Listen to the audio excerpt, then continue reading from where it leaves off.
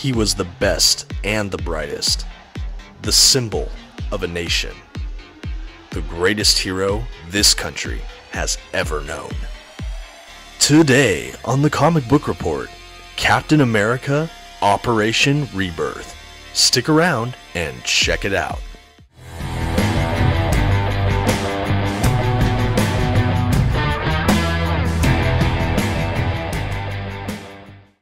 Greetings, everyone. My name is Dominic, and you're watching the Comic Book Report, where we review comic books and graphic novels so you can get an idea of what to read. Today, we'll be taking a look at a Captain America book straight out of the 90s Captain America Operation Rebirth.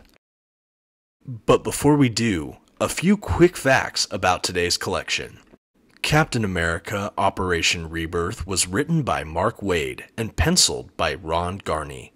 The issues collected in this volume were published by Marvel Comics in 1995 and 1996. The Marvel Premiere Classics edition I have today collects Captain America issues 444 through 448 and issues 450 through 454 and this hardcover volume comes in at 264 pages. Before we continue any further, I just want to issue a brief spoiler warning. I will be flipping through today's collection as well as commenting on plot points. You've been warned. Alright, and here's a look at today's collection. As I mentioned, this is a Marvel Premiere Classics hardcover. You'd see a lot of these back in the early aughts and early 2010s, I would say. And they're pretty good little books. You can still find them used, some for fairly affordably. I believe this one came out in about 2011, and I'm sure I picked it up thereabouts. The dust jacket is not quite as pristine as it once was, but overall the collection still really holds up. Let's go ahead and take a look under the dust jacket. We got some nice baby blue inside cover pages, and then on the hardcover itself, it's that nice faux leather kind of finish with some great lettering here. It's just really well constructed, and it's a pretty dense little hardcover book. And while it is standard size, it has really glossy, nice paper stock.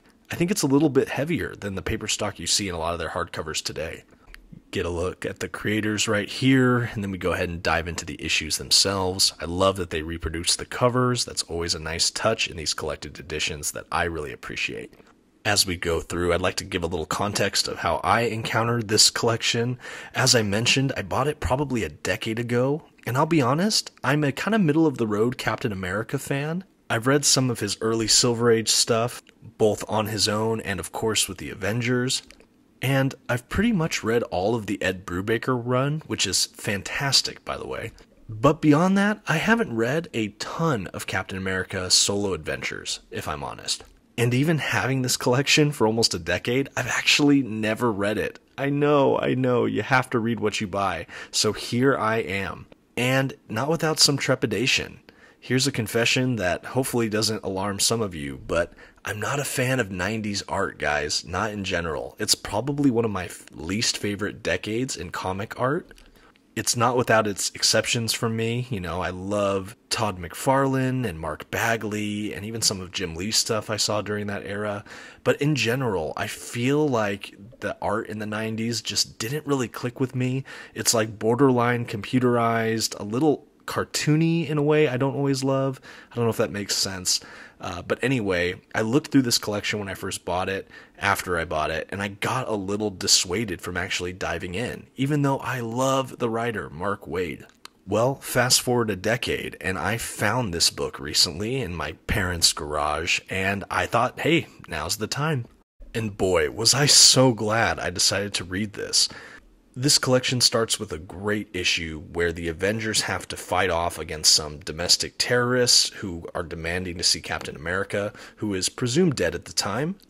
It's a pretty harrowing little issue that also really comments on the nature and person and almost symbol that Captain America is within the country and the hero community. And it ends with them effectively eulogizing him and disclosing to the world that he's presumed dead but we see he's actually suspended, frozen in ice again. From there, the collection effectively revives him, superpowers him back up with a new super soldier serum blood transfusion, and pairs him up with his old paramour, Sharon Carter, and believe it or not, the Red Skull. And from there, things get pretty wild. They're searching for the Cosmic Cube, which is kind of bending reality and is kind of a basis uh, for one of the Infinity Stones from the MCU, kind of mixed with this cube. Like I said, in here, it's not an Infinity Stone, it's just called the Cosmic Cube, but it's cool to see shades of this appear in the MCU after that story arc concludes, you kind of fast forward a little bit, and we have Captain America basically disavowed and losing his citizenship from America, courtesy of the commander in chief, because they believe he has disclosed secrets that only he really knew to terrorists and other organizations that are hoping to harm the country. From here, Steve Rogers kind of spirals into a little bit of a depression as he's kind of exiled out of America. He's kind of saved by Sharon Carter, who helps convince him to pick himself back up, right the wrongs, figure out if he was framed, how he was framed, and restore his right standing. And wow, let me tell you, there's a lot of twists and turns in this story arc, but it was so satisfying. And that really rounds out this collection, those two main story arcs.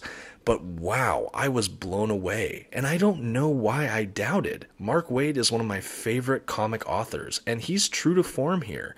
His take on Captain America is hardly a new one, but it's so worthwhile. There's a lot of American ideals and optimism in this collection. There's a lot of patriotism that really work for this character. It really had me stopping and saying, hey, God bless America.